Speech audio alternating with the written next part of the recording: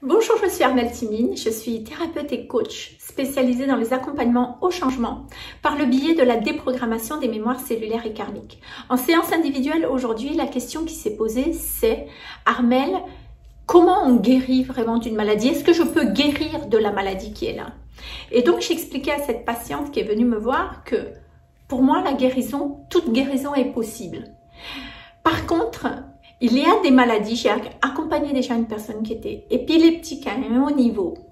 Et justement, l'accompagnement a permis, enfin depuis son accompagnement, euh, elle n'a plus eu de crise, justement. Elle sait qu'elle peut diminuer le dosage de ses médicaments, mais ça, ça lui appartient. Moi, je veux pas du tout intervenir au point de vue médicamenteux, c'est pas du tout mon, mon domaine. Par contre, euh, comment dire? Elle est rentrée, la guérison commence quand on rentre en équipe avec, avec la maladie en elle-même, quand on rentre en collaboration avec la maladie en elle-même. Et je lui ai dit, toute maladie n'est pas négative en soi, en fait, enfin pour moi non.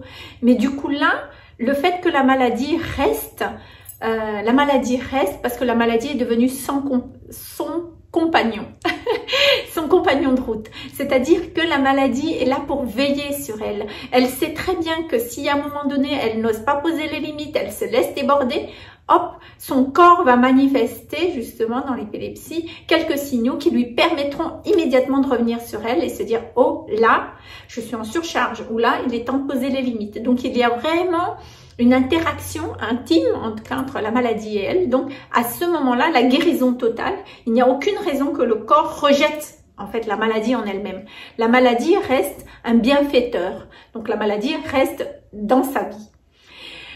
C'est que la maladie devient comme une béquille en fait. Mais la guérison en elle-même, qui est la guérison totale, euh, c'est-à-dire quand la maladie est complètement dissoute, c'est quand en fait, on n'a plus besoin de ce support pour prendre soin de soi et qu'il y a une réelle prise en charge de prendre soin de soi où on n'a pas besoin de ces alertes-là, mais que de soi-même, on initie euh, le fait de poser nos limites ou le fait de prendre soin de soi, le fait de s'écouter.